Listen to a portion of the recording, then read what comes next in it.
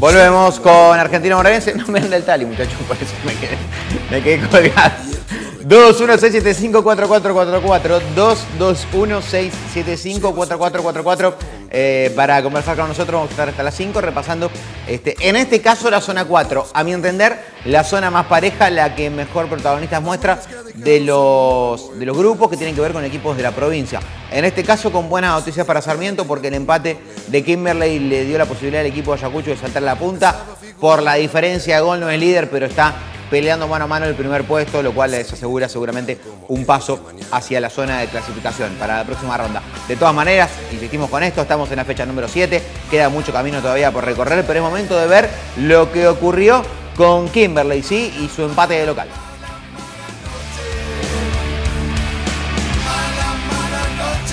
Está apagado el lateral izquierdo. No sube mucho. Kimberley el empate de América con América de Pirán. Un puntazo para el equipo aurinegro. Ahí veíamos la imagen de García, el entrenador del Dragón. Un Dragón que se vio sorprendido por el buen arranque del Blanquinegro que con Rivas y con Junior Isquia por el medio complicó en más de una oportunidad a Morata la presión alta de América le dio la chance de jugar de igual a igual al dragón que en su casa no suele tener que, que, padecer el asedio de las visitas, al contrario. Buen día señora, ¿cómo anda? Saludamos ¿eh? a todas las madres futboleras, fue la Semana de la Madre, el fin de semana del Día de la Madre. Bueno, muchas se hicieron presentes y a todas nuestro saludo y de todo el equipo de Argentino Bonaerense. Poquito y nada eh, de fútbol, porque América hizo un partido inteligente, le complicó la vida al equipo de Damián García, que ahí lo vemos.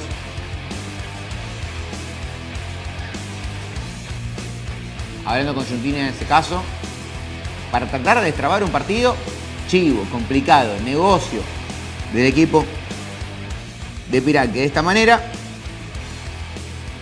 se acomoda en el tercer puesto, suma 12 y ve con buenos ojos el futuro.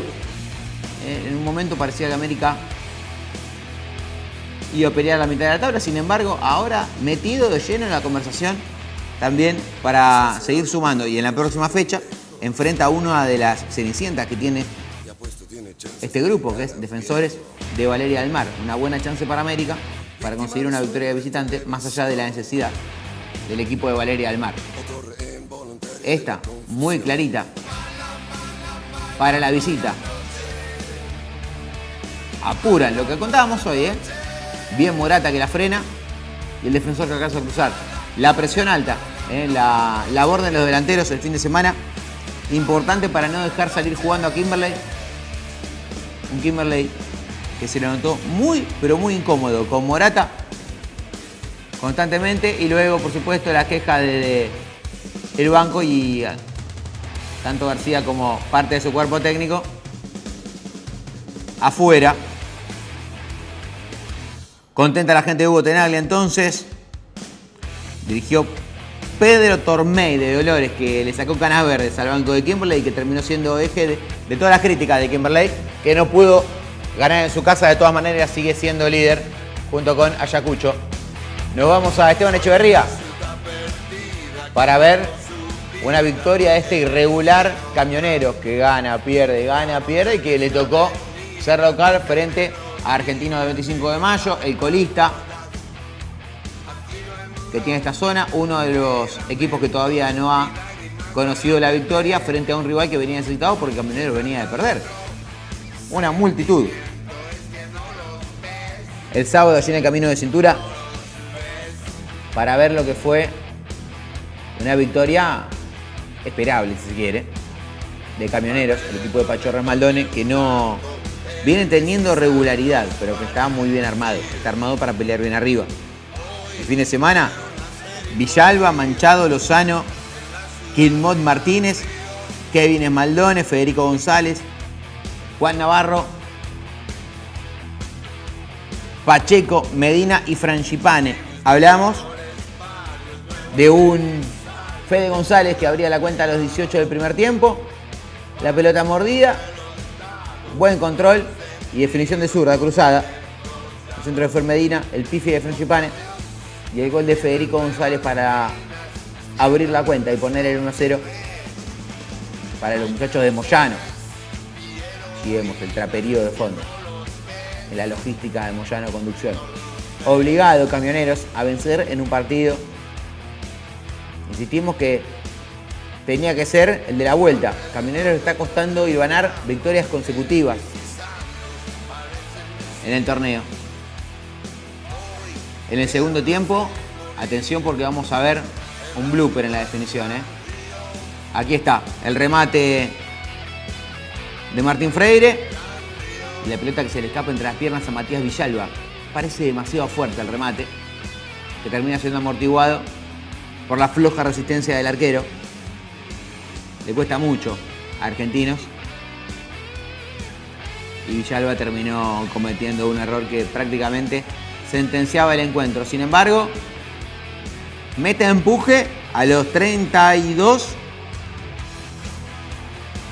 Martín Freire. Y va a poner el 1-2. Federico Pacheco hizo el gol de Camioneros, el 2 0, perdón, y Freire ponía el descuento para Argentinos. Descuento que no alcanzó. Camioneros suma una nueva victoria. Y Argentinos una nueva derrota que lo sigue teniendo como golista.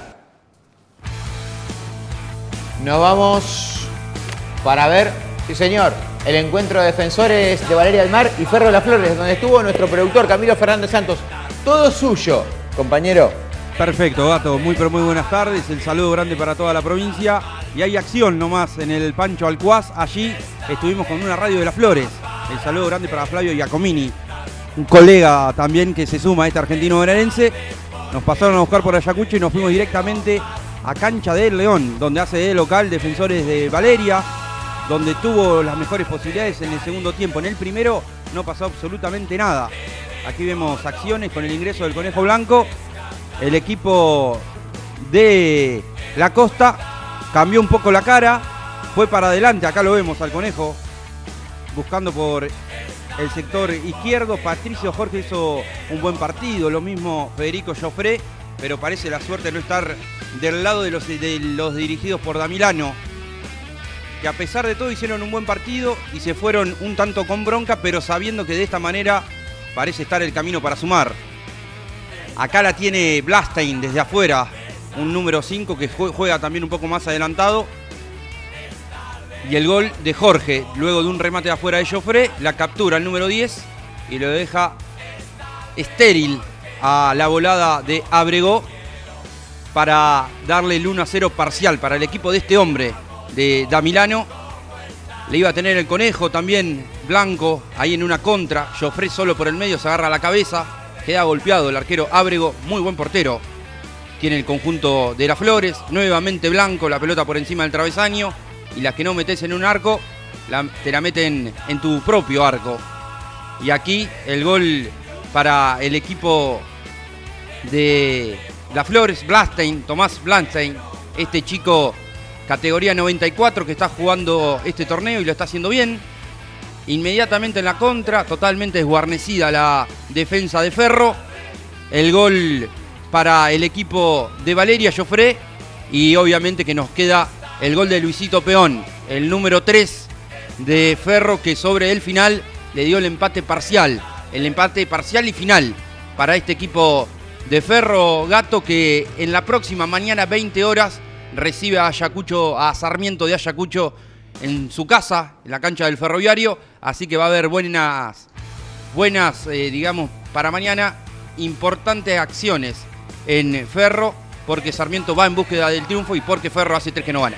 Eh, lo que veíamos, las imágenes de defensores que estuvo a minutos de ganar su primer partido. Hizo el gol a los 82, se lo empataron a los 86. Está muy cerca, en algún momento va a caer. Ferro sigue reafirmando que es un equipo Duro de roer, ¿eh? no se lo vence fácil a Ferro y muy lindo el partido que se va a ver el fin de semana. Eh, Camo, tenemos chance de escuchar protagonista, ¿no? ¿Tenemos a Jorge? Sí, escuchamos, pegamos nomás a Patricio Jorge, uno de los autores de los goles de este equipo de defensores que crece a pesar de los malos resultados en este torneo Federal B. Y no se dan los resultados, es complicado porque eh, con, con una victoria se labura más tranquilo en la semana. No la podemos conseguir, hoy parecía que se nos daba y la verdad que la fortuna no nos está ayudando tampoco. Pero bueno, eh, como le decía un colega tuyo, este es el camino y creo que jugando así van a ser malos el partido que vamos a ganar, creo que vamos a perder. La actitud está, eh, se labura muy bien, tanto el cuerpo técnico como, como los dirigentes, como te digo, todo cuesta bastante porque somos amateurs, no dejamos de, hacer todo con, mucho sacrificio, pero, pero el camino es este. Eh, si Dios quiere, el próximo fin de semana tenemos revancha y, vamos a tratar de sumar a tres que nos viene costando. Jorge, Patricio Jorge, el volante ofensivo, que tiene defensores cerquita de conseguir su primera victoria. Resultados.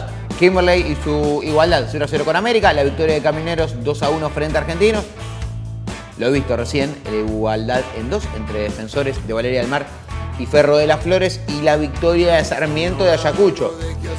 2 a 1 frente a Everton de La Plata. Vamos a ver cómo está la tabla de posiciones.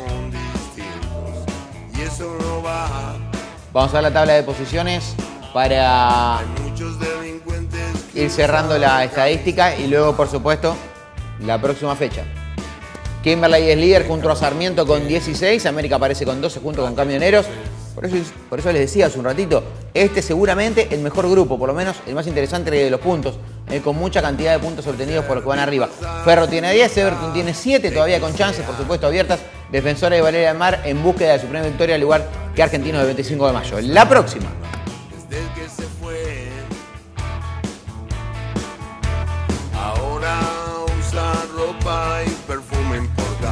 Ferro, lo dicho por Camilo recién, recibe a Sarmiento de Ayacucho, Camionero juega con Everton, editando la final del TDI. Kimberley recibe a Argentino el 25 de mayo y Defensores a lo propio con América de Pirán. De esta manera cerramos la zona 4 para meternos ya en la zona 5.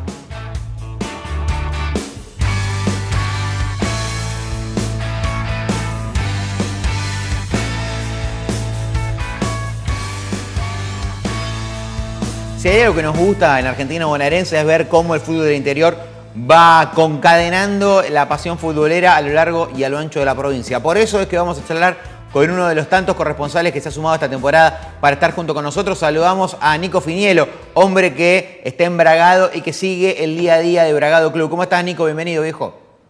¿Qué tal, Juan? Un saludo grande para todos allá. Muy bien, ahora lo vamos a ver, a intentar ver a Nico. Ahí está, ahí está, perfecto Nico en cámara. Bueno, viejo, ¿qué es lo que está pasando con, con? Porque se ha dado que ha llegado a un club que por lo menos nosotros no esperábamos que tenga cambio de técnico y que le ha tocado no poder dirigir porque se ha suspendido el partido con Newber y que creo que ya tiene fecha. Sí, sí, la vuelta de Haberger en cuanto a, la competencia oficial se ha hecho esperar porque la con el partido con Newber y después de, un partido de finalmente la, suspensión se ha pasado en noviembre, no ha permitido a Haberger reencontrarse ya en un partido con toda la y la vuelta a, lo que será una competencia oficial, ¿no? Pero hay muchas ganas, hay mucho entusiasmo. El termina descomprimido un poco, ya que no, no es el mejor clima, los malos resultados y alguna otra cosa más que hacer con la del técnico con los jugadores. No, no era bueno, eh, la llegada de Javier, que fue el técnico que todos querían, que en principio había esperado que continuara después de la, de la buena campaña del que terminó con el descenso. Bueno, por algún motivo no pudo lograr la continuidad, pero bueno, cuando los dirigentes nuevamente se en contacto con él, le propusieron la vuelta, finalmente se a esperar entonces lo que será. A ver, a ver, Nico, que ahí te pierdo un poquito, Nico. A ver, ¿vos me escuchás, ¿vos me escuchás bien?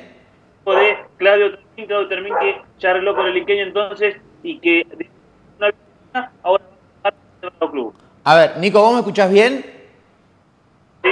Bueno, perfecto. Se, nos corta un poquito. Ha quedado claro que, toda esta situación ha demorado el, debut de Javier, el redebut en realidad, porque ha sido el, entrenador que le ha dado la posibilidad de volver al Federal B, este, de formar parte del Federal B a Bragado Club. Y que nos ha quedado claro también que ya para noviembre tenemos fecha para, para Junín. No tiene un arranque complicado el profe. Quiero, quiero que me cuentes cómo lo han visto, con qué semblante lo han visto, si ha dejado alguna declaración entre semana este, como para que el hincha se vaya ilusionando con, con esta vuelta de un, de un tipo que es un prócer allí en Bragado. Sí, eh, a ver, tuvo la posibilidad de hablar con él el día que regresó, que dirigió la primera práctica. Es realmente un gusto poder hablar con él, de sus declaraciones. Él simplemente con una frase definió cómo es su idea, ¿no? Eh, se puede jugar de cualquier lado y me parece que va a ser la impronta que tratará de meter a este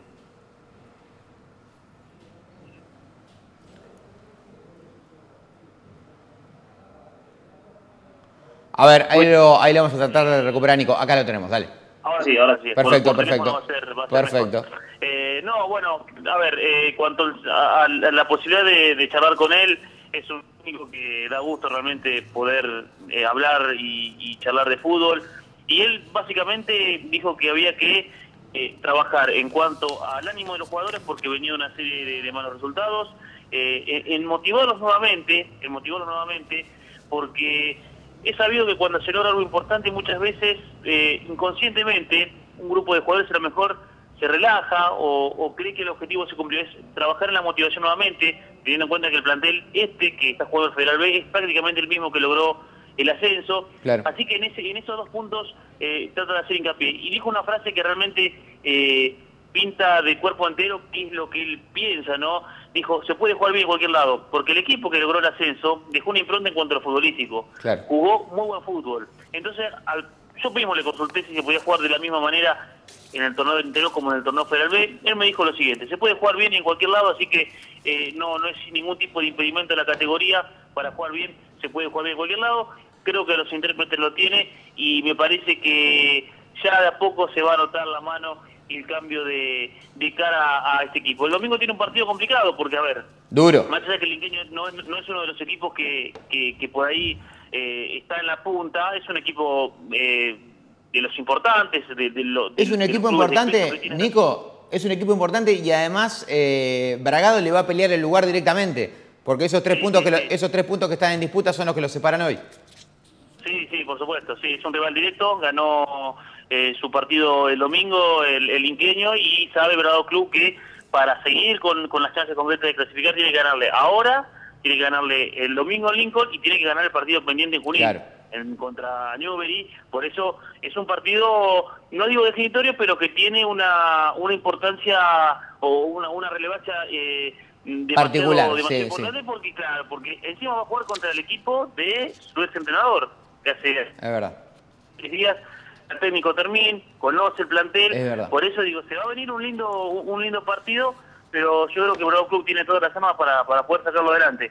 Eh, además tengamos en cuenta también que sumado a toda esta etapa que se viene en, en, federal, con, con ya la segunda fase de esta zona que va a comenzar, el Bravo Club tiene el próximo mes la Copa Argentina ante los Casares, Sí, señor. sumado a las 20 horas Así que es otro desafío importante, histórico para el fútbol de nuestra ciudad y va a tener entonces eh, un desafío más el tricolor, insisto, me parece que va a tener una, una modificación en cuanto a la idea de fútbol y va a tener un cambio de cara a este equipo que contra que con Otermin le costó mucho ganar, sobre todo fuera de casa, y que con Havertz seguramente va a tratar de demostrar otra cosa. Nico, está claro que se viene una semanita movida para Bragado, tienen competencia por Copa, tiene partido pendiente y lo que va a hacer el, el fin de semana frente al Inqueño seguramente será clave. Te mandamos un abrazo enorme, saludo a toda la gente de Bragado, gracias por estar allá este, y seguramente en la semana vamos a estar comunicándonos para tener la, el día a día de Bragado Club ya de la mano del profe. Dale. Muy bien, eh, para completar entonces, este domingo a las 16 en, la cancha del Inqueño, el Inqueño Club. El día miércoles va a estar jugando a las 20 horas en el Agropecuario por Copa Argentina y ya el próximo eh, domingo va a jugar nuestra ciudad frente a Tigres y recién ya el 5 de noviembre se va a poner en cuando cumpla el pendiente con Jorge Newbery. Un abrazo grande para todos. Abrazo grande, agenda cerradita ¿eh? para Bragado Club. Estaba Nico Finielo desde Bragado trayéndonos el día a día de Bragado Club, esperando el debut oficial, ni más ni menos que de Jorge Javejer, el ex entrenador de Boca, el hombre que vino a limpiar el vestuario de halcones y de palomas. Vamos a ver la estadística del grupo 5, ¿les parece? Ya nos metemos con el cierre. Quédense porque la previa de Sportivo Varadero es una verdadera locura y tenemos un personaje hermoso que lo vamos a tener también en el cierre. Estadística de la zona 5. Que te diga que Está bien y que está mal. Agropecuario venció 4 a 0 Social Obrero. Social Obrero, derrota tras derrota. Complicado el momento del equipo de Zárate. Vamos a ver si en la próxima vuelta empieza a cambiar la cara. Siete derrotas para el equipo de Zárate. El Inqueño venció 4 a 1 11 Tigres. Rivadavia de Lincoln, líder, venció 2 a 0 a Juventud en el mejor partido que tuvo esta jornada. Suspendido, Jorge Newber y Bragado, lo dijimos, se juega el 5 de noviembre. Tres partidos en el medio para Bragado. Rivadavia es el líder con 19, Agropecuario tiene 15, Juventud tiene 12, el equipo de Pergamino 11, Tigres de 9 de julio tiene 10, el Linqueño 9, Bragado Club 6, Jorge Newbery con un partido pendiente, con Bragado tiene 5, último Social Obrero 7-0. 7 ¿eh? partidos jugados, 7 perdidos. Próxima fecha. El viernes 11 Tigres estará enfrentando hoy, el viernes, hoy a la noche, a las 9 de la noche, 11 Tigres Agropecuario de Carlos Casares. El domingo, no va a haber fecha el sábado, el domingo, el Inqueño Bragado a las 4 de la tarde, 18.30 para Juventud de Pergamino Social Obrero y a las 20.30 Jorge Newbery, Rivadavia Lincoln, en el que creo yo es el partido más atractivo que tiene la jornada, más allá del partido de esta noche entre 11 Tigres y Agropecuario de Carlos Casares.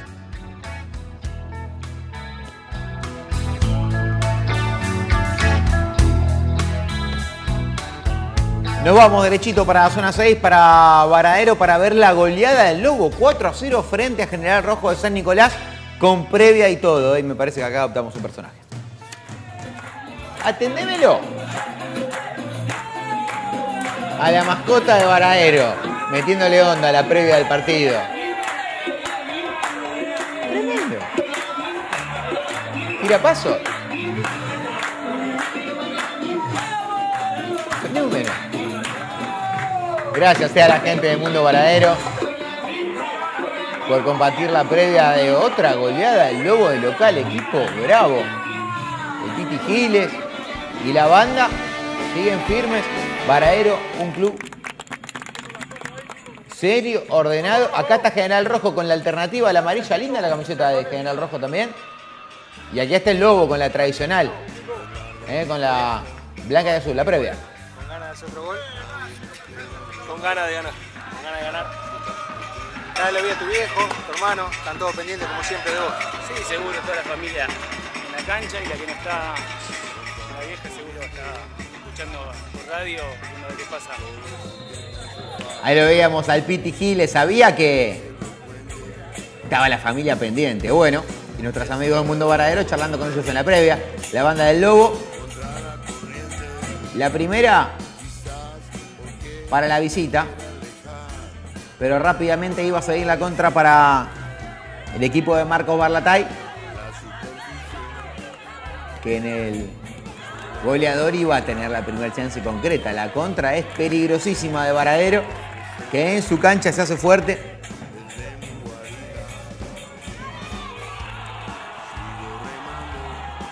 Acá está el gol del Piti, el 1 0, 18 minutos del primer tiempo. Ariel Giles no se cansa de gritar el pelado. Muy bien. Dedicado a la madre. Buena definición. Me parecía en imágenes Eduardo Dávila, ¿no? El 2, grandote. No sé si me lo quiero cruzar en el área. Al central de Varadero. Me dicen que acá está el mejor gol no de esta temporada, de todas las temporadas, desde zona 6 hacia acá, el mejor gol de todos. ¿eh? Lo dice Camilo Fernández Santos. Camilo, guarda con el micrófono. El penal, el agarrón, la falta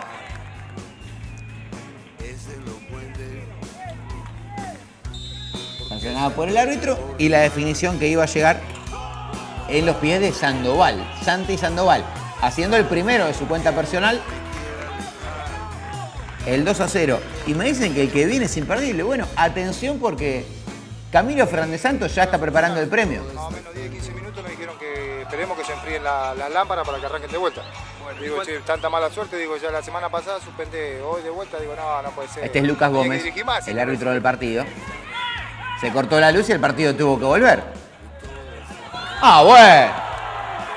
Cerrame la 5. ¿Quién es la Mela? ¿Quién es la Mela?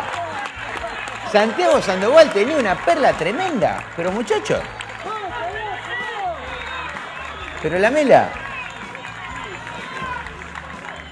No existía la Mela. Mirá el gol que hizo Santiago Sandoval, muchachos, es una cosa de loco. El mejor gol de torneo, ya vamos hablando con nuestros amigos de la casa de trofeo que vayan tallando todo. Está cerrado. Alan Pérez otra vez. Marcando 4 a 0. Victoria del equipo de Marcos Barlatay. Un rojo desconocido, ¿eh? el equipo de Octaviano. Señores, nos vamos a ver lo que fue la siesta del Lorito, que lo ganaba y terminó perdiendo. Estamos hablando de defensores de salto, la salida del Loro. Y la victoria Deportivo Rivadavia de Venado Tuerto, que saludaba al poquito público que se acercó para seguirlo en la cancha del Loro. Realmente llamativo lo que pasó con el equipo de Pontón, que terminó la noche complicada. Porque lo que era victoria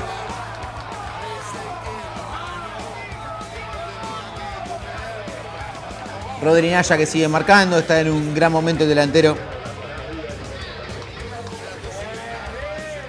El Lorito que pone 1 a 0, la posibilidad de aumentar el marcador.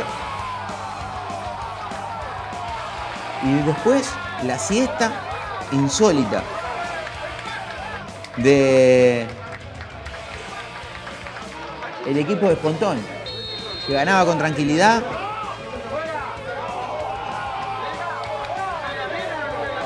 El gol de Alessandro para el 2 a 0 y luego el primer descuento de la gente de Venado Tuerto. Aquí, increíble. ¿eh? Innecesaria la, la reacción de Gisi. El arquero de defensores.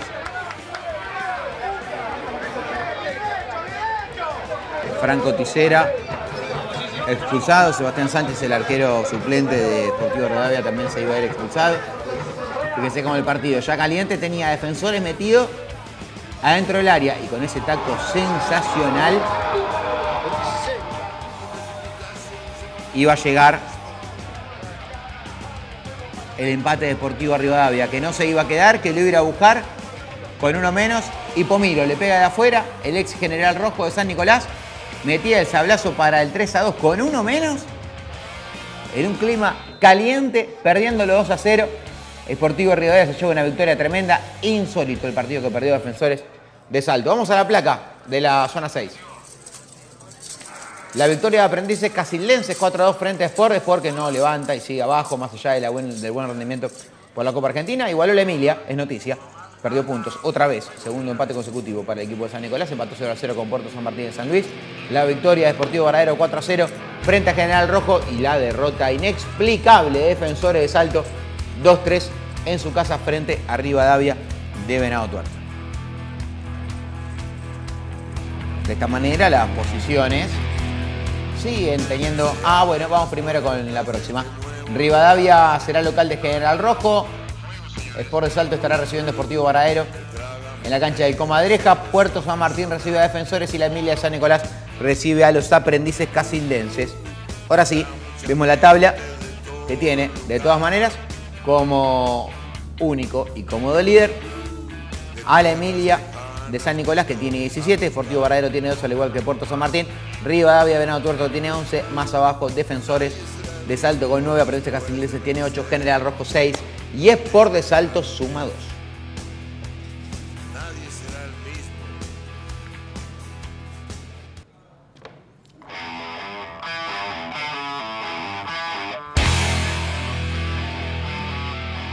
Es difícil, porque nosotros tenemos que elegir el mejor gol del año y la verdad que lo que hicieron los muchachos en Varadero ha dado material como para que la cuestión ya esté resuelta. Nosotros nos reencontramos el próximo viernes para vivir una nueva fecha completa del Argentino B, por supuesto siguiendo de cerca lo que pasa con los equipos de la provincia de Buenos Aires. El agradecimiento para todos los que forman parte, en este caso para nuestros compañeros que estuvieron de Bragado, pero el agradecimiento es extensivo para todos, ¿eh? la gente que labura para con, para, con nosotros en Bahía Blanca, en los distintos lugares de la provincia de Buenos Aires. Abrazo grande para todos ustedes. Nos reencontramos el viernes. ¿eh? Gracias por estar de otro lado. Chao, provincia.